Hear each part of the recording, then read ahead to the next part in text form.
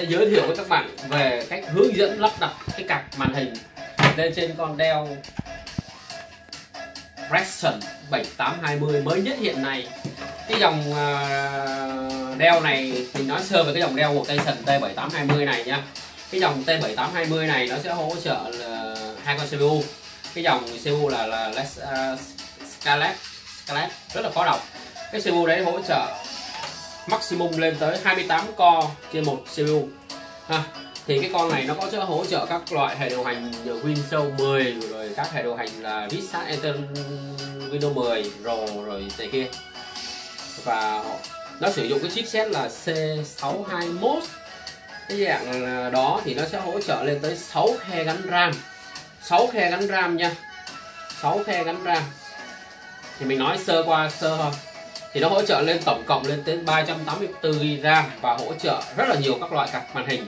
Từ card 2N cho đến card mid-range 3D card cho đến card NG và card Pro Professional ha hỗ trợ ổ cứng à, uh, M2 ổ cứng à, uh, SATA SAS PC uh, à, PCE SSD ha cái con này thì nó hỗ trợ cái ổ cứng là bốn ổ cứng 3.5 inch thì nói sơ qua thôi.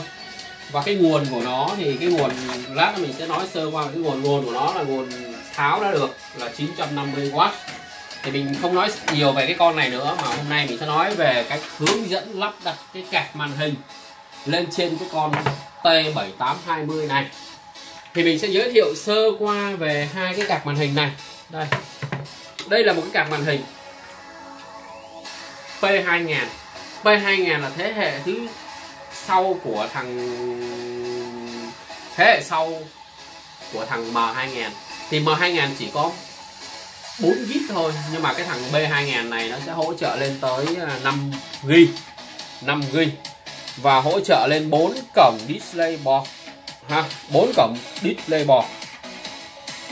Ha, hỗ trợ lên đến 4 cái màn hình 4K 4 cái màn hình 4K và hoặc là một cái màn hình 5K cái này, nó sẽ có bốn cái bọt, display bọc này hỗ trợ là bốn cái màn hình 4K hoặc là một cái màn hình 5K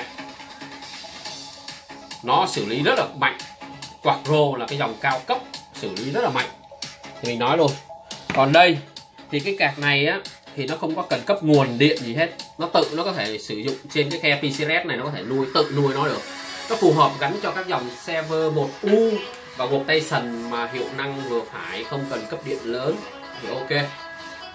Còn đây là một cái dòng cao cấp. Hơn nữa, một cái đẳng cấp có thể mạnh gấp đôi cái dòng P2000 này. Cái này nó lên tới à, cái cạc này nó là cạc P4000 cái cạc P4000 này là rotational rất là mạnh. Quạt rô luôn nha. Cũng hỗ trợ à, 4 cổng display board. Và cái này có 8 GB 8 GB 8 GB thì cái thằng này á, thì nó là hỗ trợ cao hơn thằng kia là nó hỗ trợ lên tới ba cái màn hình 5K hoặc là một cái màn hình 8K thì bây giờ mình nghe thấy 4K là mạnh rồi nhưng mà cái này nó sử dụng tới ba cái màn hình 5K bốn cái bọt này có thể hỗ trợ được ba cái màn hình 5K và một cái màn hình 8K cái màn hình 8K thực sự mình cũng chưa sử dụng bây giờ.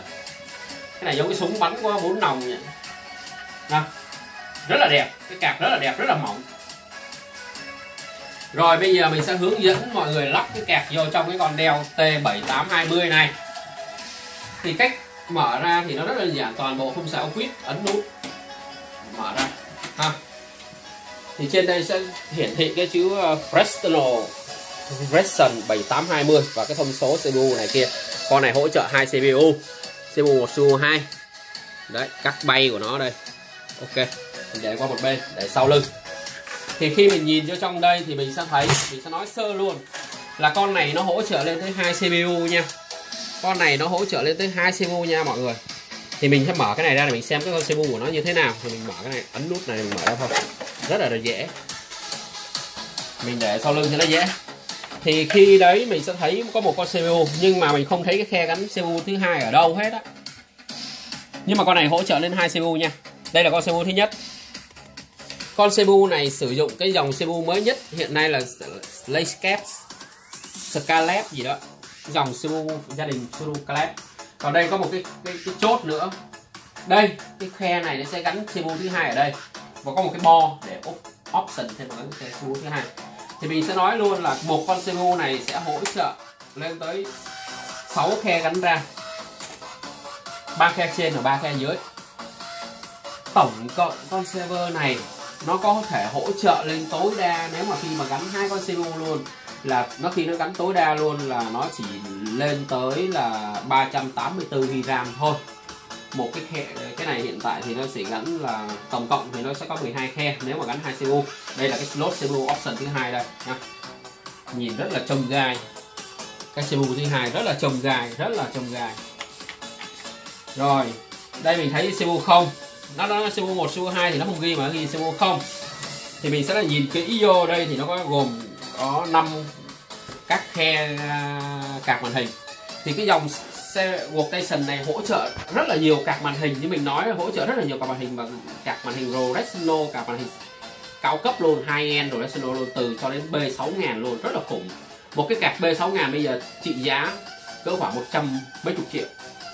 Ha là lên tới hai end 3D luôn thì mình sẽ nói luôn sơ qua về cái ờ, cái bọt này. Cái bọt này thì nó sẽ ờ, hỗ trợ lên tới ờ, tổng cộng cái này nó sẽ là có tất cả là PC SRS mà thế hệ thứ ba R3 hai khe PC SRS 16x thì hai khe PC SRS 16x nó phía nằm trên đây. Nó sẽ có thể cung cấp được một cái nguồn điện. Hai khe này có thể cung cấp nguồn điện lên tới 75W rất là mạnh. Thì cái kẹp này có thể gắn vô đây. Hai cái khe này có thể cung cấp nguồn điện lên tới 75W nha. PCS thế hệ thứ ba 16x rồi và một cái khe PCSS 16x ở phía dưới, nhưng mà có thể hỗ trợ 8x và một cái khe PCSS 16x cuối, đây, khe PCSS 16x luôn. Ha. Và cái khe cuối cùng là cái khe PCI truyền thống. Thì bây giờ mình sẽ hướng dẫn cái cách gắn vô thì đối với cái card M2 P2000 này, thì không cần nguồn điện. Và hiện tại bây giờ ở trên đây nó có thể cung cấp lên tới nguồn tới 75W rồi. Nên mọi người có thể gắn vô. Thì toàn bộ cái này không cần ốc vít nha. Mọi người có thể bấm vô cái này. Bấm thì phải bấm vô cái này. Ok. Thì tất cả cái này ra. Và mình sẽ gắn vô. Gắn vô khe đầu tiên nha mọi người. Chỉ gắn khe đầu tiên và khe thứ hai thôi. Gắn vô. Rất là đơn giản ok, chỉ vậy thôi. Và mọi người sẽ gặp cái ngàm này vô. Cái ốc này thì thật ra là do là mình cũng không ấy thì mình đại lại để cho chuột dán nó phải bu vô thôi. Ha cái này mình có thể gắn vô. Thì gắn vô thì nó nó hơi mất thời gian thì mình sẽ để cho mọi người tự nghiên cứu mà gắn. Ha, ở đây mình sẽ thấy nó có dư hai sợi dây nguồn. Dư hai sợi dây nguồn nhưng mà hai sợi nguồn này mình hoàn toàn không xài tới tại vì cái kẹp này á cái khe PCS 16X phía trên nó có thể hỗ trợ nuôi được cái nguồn này. Ok bây giờ mình sẽ à, sử dụng một cái dòng kẹp cao cấp hơn là cọc Enterprise mà nó là một cái kẹp B4000 kẹp này bắt buộc phải sử dụng nguồn điện nha. Kẹp này nó rất là mạnh nó lên tới uh, 5k và 8k rất là mạnh và nó phải có nguồn điện nuôi cho nó không là nó sẽ nó sẽ sập liền. Thì bây giờ mình sẽ lại tháo cái cạc này ra. Cái cạc B2 này tháo ra. Đây. Rồi ok. Mình sẽ sử dụng cái cạc P4000 cái cạc này á, mình nói là cái cạc P4000 này rất là mạnh. Nó trị giá có khoảng 20 triệu cho đến 25 triệu. Thì cái cạc này hỗ trợ là ba cái màn hình 5K và một cái màn hình 8K hoặc một cái màn hình 8K chứ không phải là ha mình gắn vô. Vì chính vì nó nặng quá nên là thằng đeo nó thiết kế ra một cái ngàm để giữ. Thì bây giờ mình lại gắn vô. Đây. Đây chính là cái ngàm gắn giữ. Giữ vô, ha. Thấy không? Đây có một cái ngàm gắn giữ. Mà mọi người gắn khi mà gắn cạc thì nên là gắn cái cạc ở khe đầu tiên. Ha ấn vô. Nó kêu cái kịch là ok. Cho mọi người lấy thì khi đó mọi người, ở đây nó sẽ có hai sợi dây. Thì mọi người sẽ cấp một cái sợi dây nguồn vô trong cái cái cái cái cái này. Ok.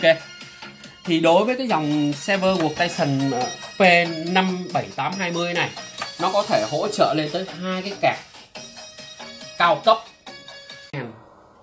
và đây là cái cạc P2000 thì từ cái cạc P2000 này trở về trước thì không cần nguồn. Ha. Nhưng mà đối với cái, cái cạc B4000 này trở lên B4000, B5000 và B6000 trở lên thì bắt buộc là phải cấp nguồn cho cái, cái, cái cạc này. Tại vì cái cạc này quá khủng đi mà cái nguồn cái cái cái cái, cái khe PCSS nó có chỉ có 75W thôi. Không thể nào nuôi được cái cái cái nguồn này. Thì cách gắn vô thì rất là đơn giản. Thì mình ở bên đây thằng đeo được thiết kế ra đây. Phía đây nó có một cái ngàm để giữ vì chính vì cái cạc này nó to cái dài và nên nó nặng. Nếu mà vô vậy sao nó treo không nổi, nó gãy xuống tông xuống, rất là nguy hiểm. Thì thằng đeo được thiết kế ra có một cái ngàm để vô. Khi mọi người để vô như vậy thì mọi người đúng cái khe. Cái khe đầu chi, mọi người sẽ gắn hai cái khe đầu tiên nha. Cái khe, hai cái khe đầu tiên là khe mà chuyên được cạc màn hình. Có thể gắn hai cái cạc màn hình để cho cái hiệu suất nó cao. Ấn vô. Cái cái kịch ok, mọi người gắn ngàm vô. Và ở đây nó sẽ có hai sợi dây nguồn thừa mọi người sẽ cắm cái cái cái, cái dây nguồn này vô đây. Cái cắm cái dây nguồn này vô đây. Khi cắm cái dây nguồn vô đây là ok. Mọi người có thể cắm cái thêm một cái cạc nữa để cho cái hiệu năng nó cao hơn. Thì mình uh, xong ok. Hôm nay mình đã đánh giá xong về cái cách gắn cái cạc màn hình quạt rô. Ok vậy thôi. Bye bye.